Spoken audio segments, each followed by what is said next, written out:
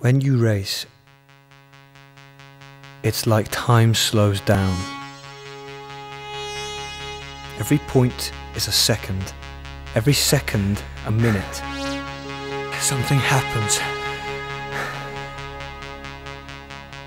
You feel every muscle, every moment of the race. You could tell a story of it. When you dig the start, when you see the others, a hundred meters can feel like a marathon. You crouch, you wait from the corner of your eye, the gun. On your marks, set,